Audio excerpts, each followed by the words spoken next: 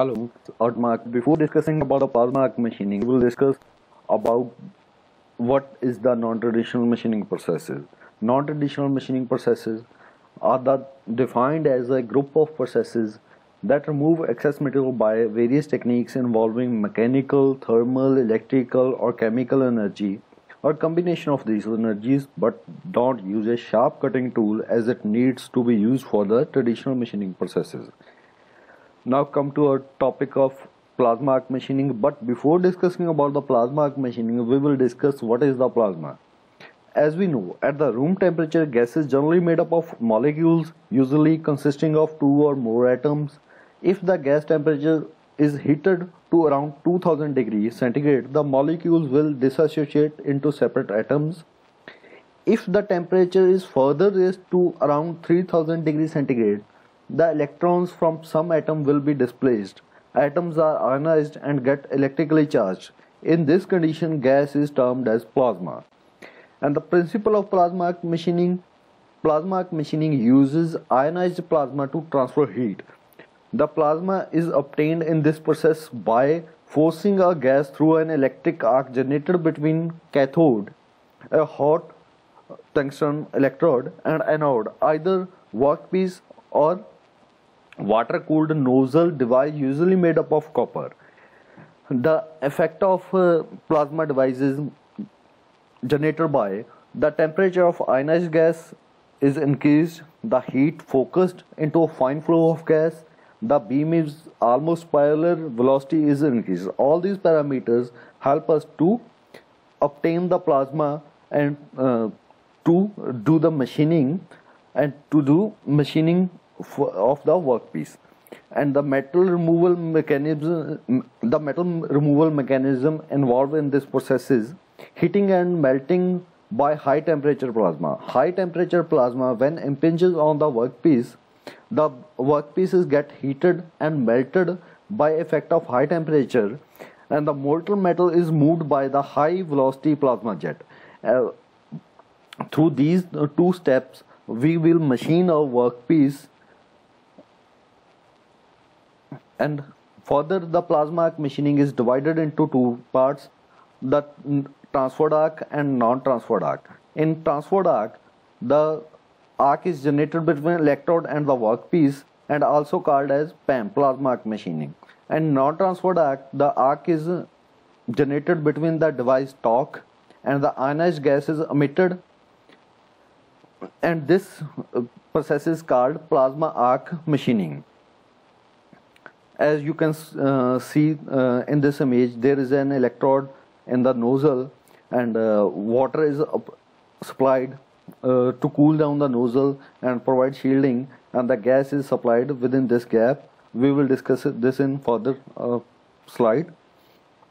And uh, in this process we need equipments like first of all we need a power supply which is usually direct current generator supplied through DC supply and a high frequency generator for the plasma and the gas supply and cooling water supply around the nozzle and within the nozzle and work handling device for uh, or servo control mechanism for the movement of uh, torch and uh, material tool which can withstand high temperature which is used as a tungsten uh, cathode electrode and protection against the heat and high radiation used for the machining.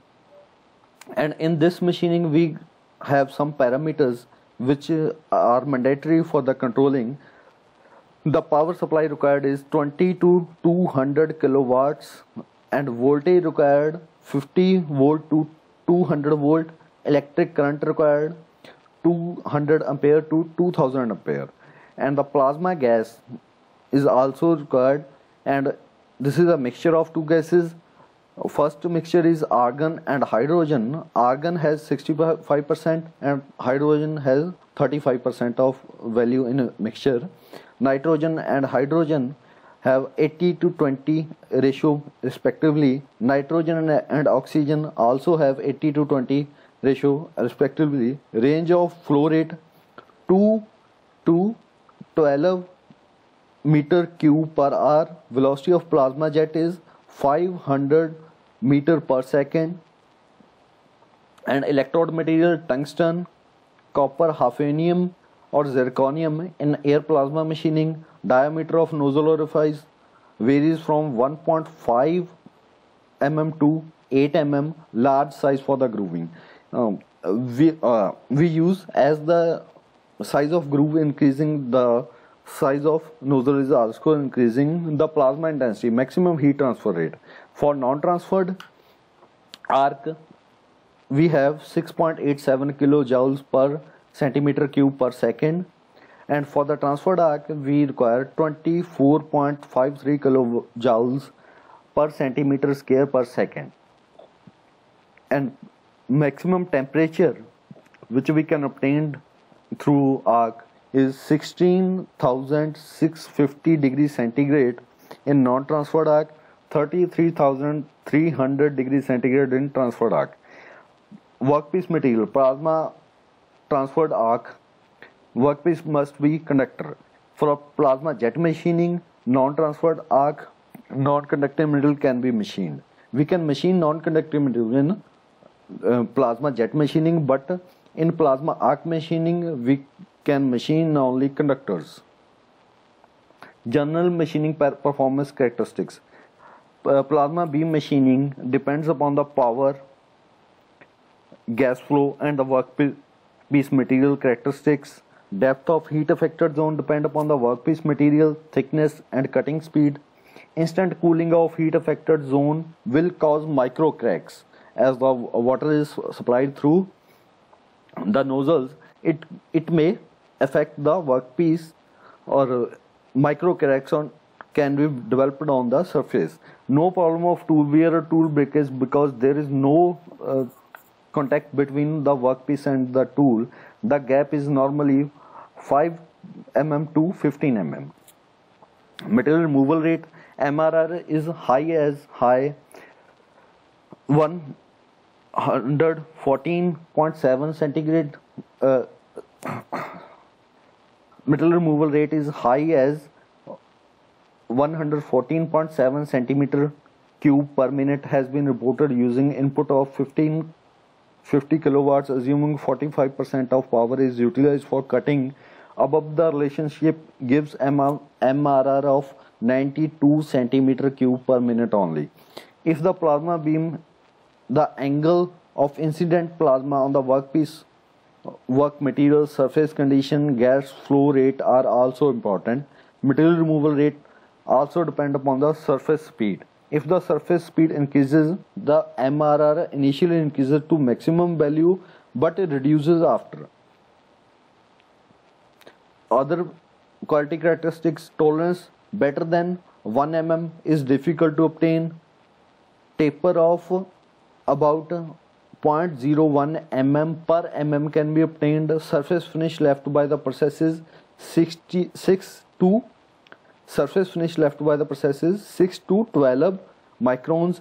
Depth of heat affected zone for uh, 3 m up to 3 mm turning small diameter work and up to 5 mm when cutting material up to 25 mm thickness.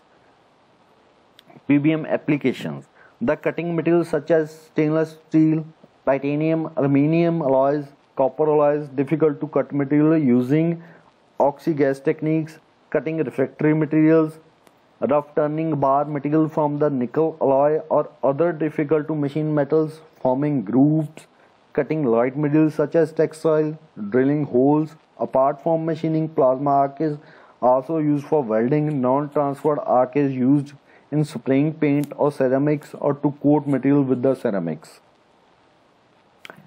Main advantages of this processor, main advantage of PBM is suitable for any material irrespective of hardness or heat resistant characteristics. PBM allows high material removal rate up to 10,000 centimeter cube per hour and MRR of high strength material as comparable with conventional turning ferrous and non-ferrous metal up to 150 mm thickness can be cut.